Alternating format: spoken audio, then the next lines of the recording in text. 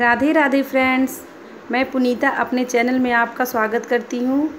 कैसे हैं आप? मुझे कमेंट करके ज़रूर बताइएगा। पर मुझे पूरा यकीन है कि आप बिल्कुल ठीक हैं और शाम के चार बज रहे हैं फ्रेंड्स। मैं छवि के बाल बना रही हूँ। गर्मी बहुत लग रही है। वो बाल खोल के ही घूम रही थी।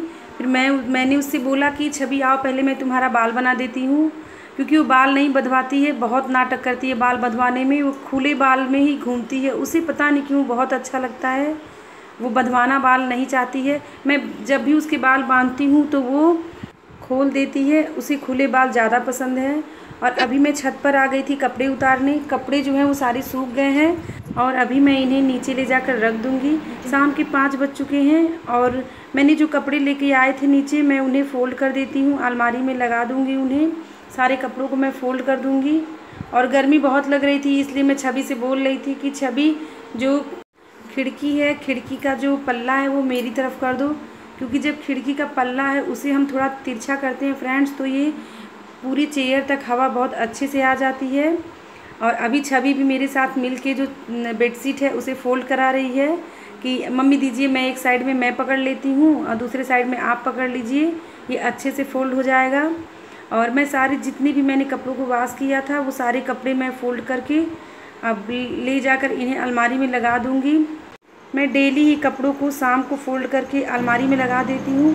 कभी अगर समय नहीं रहता है तो मैं सुबह भी लगाती हूँ, लेकिन ज़्यादातर मैं कपड़ों को शाम को ही फ़ोल्ड करके अलमारी में लगा देती हूँ। अगर मैं कपड़े रखती जाऊँगी तो काफ़ी कपड़े हो जाएँगे, इसलिए मैं जो भी डेली कपड़े मैं वाश करती हूँ, वो सारे कपड़ों को मैं फ़ोल्ड करके अलमारी में लगा देती हूँ। इससे घर भी व्यवस्थित लगता है। अगर कपड़े इधर उधर रहते हैं तो वो लगता है कि बिल्कुल घर साफ़ ही नहीं है। इसीलिए मैं कपड़ों को डेली फ़ोल्ड करके उन्हें अलमारी में लगा देती हूँ। और अभी मैं किचन में आ जाऊँगी। किचन में जो थोड़े बहुत बर्तन हैं, मैं उन्हें साफ़ कर लूँगी। वैसे तो मैंने लंच के बर्तन साफ़ कर लिए थे। ये थोड़े से बर्तन थे। जैसे बच्चों ने जो पानी पिया था, वही सब गिलास थे। ज़्यादा बर्तन नहीं थे। अभी इवनिंग का समय है तो मैं चाय बना लेती हूँ। और कुछ हल्का सा ही नाश्ता बनाऊँगी। फ्रेंड्स अगर आप सभी को मेरा वीडियो अच्छा लगा तो लाइक ज़रूर करिएगा। और मेरे चैनल पे अगर आप नए हैं, अभी आपने सब्सक्राइब नहीं किया है तो प्लीज़ सब्सक्राइब कर लीजिएगा। साथ ही बेल आइकन भी प्रेस कर दीजिएगा, जिससे कि मैं जो भी न्यू वीडियो अपलोड करूँगी तो उसके नोटिफिकेशन आपको मिलते रहेंगे। फ्रेंड्स हम न्यू यूट्यूबरों को भी आप मौका दीजिए कि हम भी कुछ कर सकें। और जैसे बड़े यूट्यूबर होते हैं तो वो कोई भी चीज़ अगर अपना अपलोड करते हैं तो तुरंत वायरल हो जाता है। पर हम लोग भी उतनी ही मेहनत करते हैं फ्रेंड्स जितनी मेहनत वो लोग करते हैं, उससे कम मेहनत हम लोग नहीं करते हैं। जितना टाइम उन्हें लगता है एक वीडियो बनाने में, उसे एडिट करने में, पूरे टाइटल लिखने में, उतना टाइम हमें भी लगता है। तो प्लीज़ फ्रेंड हमें भी मौका दीजिए, हमें भी कुछ करना है, पर आपके सपोर्ट के बिना कुछ भी नहीं हम कर सकते। तो प्लीज़ फ्रेंड हमें भी सपोर्ट करिए। जैसे आपने फ़ेमस यूट्यूबर को सपोर्ट किया है, कभी ना कभी वो भी न्यू यूट्यूबर ज़रूर रहे होंगे। तो आपने उन्हें सपोर्ट किया तो आगे बढ़े हैं। तो फ्रेंड हमें भी सपोर्ट करिए, हमें भी आगे बढ़ना है। प्लीज़ फ्रेंड हमें आपके सपोर्ट की ज़रूरत है। और अभी मैंने चाय बना ली है और इसे मैं छान लेती हूँ और मैं सबको दे दूँगी, बच्चों को भी दे दूँगी और हस्बैंड को भी चाय दे दूँगी। और आज मैंने नाश्ते में बेलपूरी बनाया था। इसमें ज़्यादा कुछ नहीं जाता है। बस ये जो लाई होती है, लाई मैंने ले लिया है और नमकीन मैंने ले लिया है। इसमें मैं कटा हुआ प्याज डाल दूँगी और जितना तीखा आप पसंद करते हैं, उतनी आप हरी मिर्च ले सकते हैं। मैंने दो हरी मिर्च काटी है और नींबू मैं इसमें डाल दूँगी, हल्का सा नमक और एक चम्मच मैंने सरसों का तेल लिया है। और सभी को मैं मिक्स कर दूँगी। ये बहुत टेस्टी लगता है फ्रेंड्स आप इसे ट्राई ज़रूर करिएगा। बहुत ही कम समय में तुरंत तैयार हो जाता है और हल्की फुल्की भूख जब लगे तो आप इसे खा सकते हैं। झटपट तैयार हो जाने वाला नाश्ता है ये और ये बहुत चटपटा होता है। इसका टेस्ट भी काफ़ी अच्छा होता है और मैंने सभी को मिक्स कर लिया है और बच्चों को मैं दे देती हूँ हस्बैंड को भी मैंने दे दिया है। मैंने भी थोड़ा सा ले लिया है और इस समय हम सभी महाभारत देख रहे हैं। कुछ दिन और आएगा महाभारत क्योंकि लास्ट का सीन ये चल रहा है और वही हम सब मिल के साथ में देख रहे थे।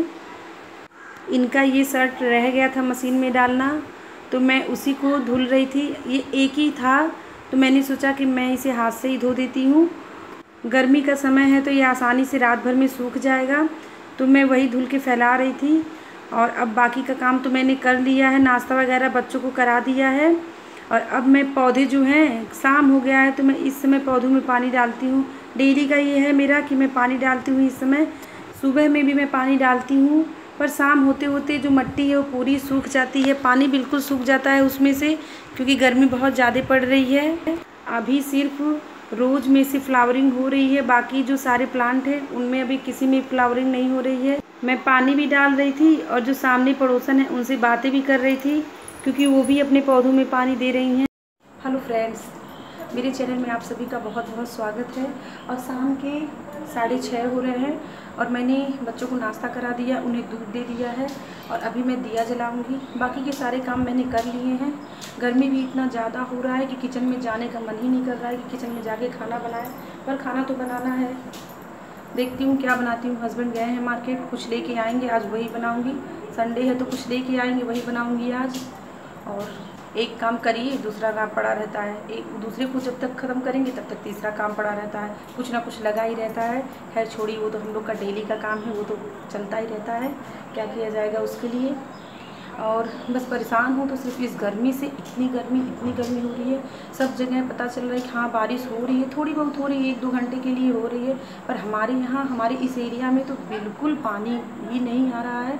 आज दस बारह दिन से बिल्कुल पानी नहीं बरसा इसकी वजह से एक उमस वाली गर्मी है, बिल्कुल एकदम चिपचिपी वाली गर्मी जो बर्दाश्त नहीं हो रही है।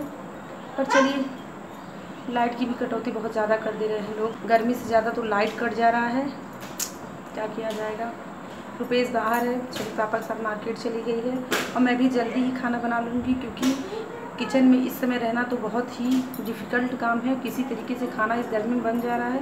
वो बहुत ही बड़ा का, काम है कि खाना बन जा रहा है। पर जल्दी ही मैं बना लेती हूँ खाना। मैं ज़्यादा लेट नहीं करती हूँ खाना बनाने में। रोटी मैं बाद में भले बना लेती हूँ जब हस्बैंड आते हैं। बार बार प्यास लग रही है। गर्मी की वजह से बहुत ज़्यादा प्यास लग रही है। और मुझे तो पता नहीं मैंने कितने गिलास पानी पिए पर मैं बहुत पानी पी रही हूँ। बच्चे भी बहुत ज़्यादा पानी पी ले रहे हैं। वैसे ठीक है, सेहत के लिए बहुत अच्छा होता है पानी पीना। मैं आप लोग को सजेस्ट करूँगी कि आप लोग भी पानी लगातार पीते रहिए और बच्चों का केयर करिए इस गर्मी में। और चलूँ काम करने। शाम हो गया है, दिया जलाना है। अब दिया जला लेती हूँ, फिर मैं खाना बनाने की तैयारी करूँगी। और मेरे इस वीडियो को पूरा वॉच करिएगा फ्रेंड्स प्लीज़ मेरे चैनल को सब्सक्राइब करिएगा। मेरे वीडियो को लाइक ज़रूर करिएगा। और बेल आइकन का बटन दबाना बिल्कुल मत भूलिएगा।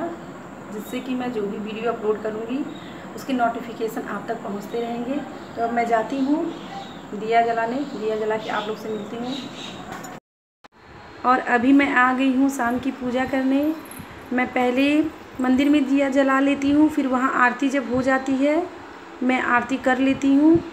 तब फिर मैं जो बाकी के दिए होते हैं, तुलसी माँ को और बाहर के दिए, जैसे कि गेट पे मैंने दिया रखा, एक तुलसी माँ को रखा और एक शनि देव को रखती हूँ। वो सभी मैं रख दूँगी। गेट पे गणेश जी हैं, मैं उन्हीं को आरती दिखा रही हूँ। आज मैं चिकन बनाने जा रही हूँ, क्योंकि हस्बैंड चिकन लेकर आ गए थे तो मैंने उसकी तैयारी कर ली है। मैंने प्याज कट कर लिया है, लहसुन मैंने छील लिया है, और चार लाल मिर्च है, और चार या पाँच हरी मिर्च मैंने ले ली है। उन सभी को मैंने अच्छी तरीके से वाश करके मैंने उन्हें छील के काट लिया है, और अभी मैं कुकर को गर्म कर रही हूँ। कुकर गर्म हो गया है। इसमें मैंने तेल डाल दिया है और तेल गर्म होने का इंतज़ार कर रही हूँ। जब तेल अच्छी तरीके से गर्म हो जाएगा तो मैं इसमें दो तेज़ पत्ता डाल दूँगी तोड़कर और दो लौंग डालूँगी और गोल मरीच डालूँगी, आधा चम्मच जीरा, ये सूखे मसाले मैं इसमें डाल दूँगी और दालचीनी का एक टुकड़ा भी मैंने इसमें डाला है। और इसे बस मैं दो सेकेंड में इसे भूनूँगी। जब खड़े मसाले भुन जाएँगे तो मैं इसमें जो लहसुन और लाल मिर्च और हरी मिर्च है, उसे डाल दूँगी और इसे भी भून लूँगी जब तक कि ये गोल्डन कलर का ना हो जाए। इन्हें चला चला कर मैं भूनूँगी कुछ इस तरह से। हिलाती रहूँगी बार बार कलछी से मतलब जो मैंने लहसुन वगैरह डाला है, उसे लगातार हिलाती रहूँगी ताकि ये चारों तरफ़ से अच्छी तरीके से जो है गोल्डन ब्राउन हो। जब ये गोल्डन ब्राउन हो जाएँगे तो मैं इसमें प्याज ऐड कर दूँगी। आधा किलो चिकन है तो मैंने आधा किलो ही प्याज लिया है, क्योंकि मैं दो प्याजा चिकन बना रही हूँ तो इसके लिए जितना चिकन होता है, उतना ही मैं प्याज भी लेती हूँ, और इसे भी मैं थोड़ा सा नमक डाल दूँगी ताकि जो जितने ये प्याज है, वो सॉफ्ट हो जाए, और नमक मैं अभी इसमें डाल देती हूँ, बाद में मैं नमक नहीं डालती हूँ, जितना भी स्वाद के अनुसार होता है, वो नमक मैं इसी समय डाल देती हूँ, और फिर मैं इसे अच्छी तरीके से चला चला कर भूनूँगी प्याज को और ढक के भूनूँगी कि थोड़े ये सॉफ्ट हो जाएँगे, फिर मैं इसमें चिकन ऐड करूँगी। अब मैंने ये खड़ा लहसुन डाला है फ्रेंड्स वो मेरे हस्बैंड को बहुत पसंद है और चिकन और मटन में बहुत अच्छा लगता है, आप भी एक बार ट्राई ज़रूर करिएगा। अगर आप नॉनवेज खाते हैं तो।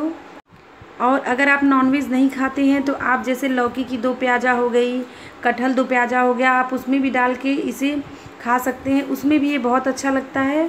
और ये देखिए फ्रेंड्स, ये मसाले हैं। मैंने गरम मसाला लिया है, हल्दी पाउडर और कश्मीरी लाल मिर्च पाउडर। मैं इन सभी को इसमें डाल दूँगी और अच्छी तरीके से मैं चला कर भूनूँगी।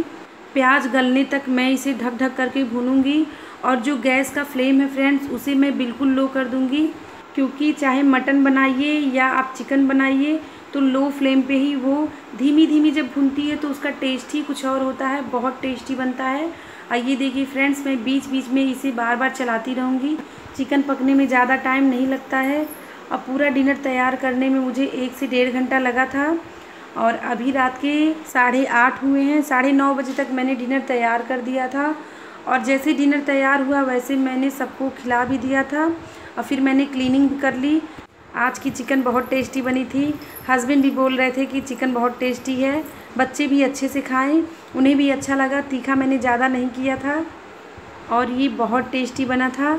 अगर आप नॉनवेज खाते हैं तो फ्रेंड्स इसे एक बार आप ज़रूर ट्राई करिएगा। ये देखिए फ्रेंड्स ये कितना टेस्टी दिख रहा है। और इसकी स्मेल बहुत ही अच्छी आ रही थी। हम अब डिनर कर लेते हैं। और आज का ब्लॉग यहीं तक था। मिलते हैं नेक्स्ट अच्छी सी वीडियो में। Thanks for watching friends bye bye good night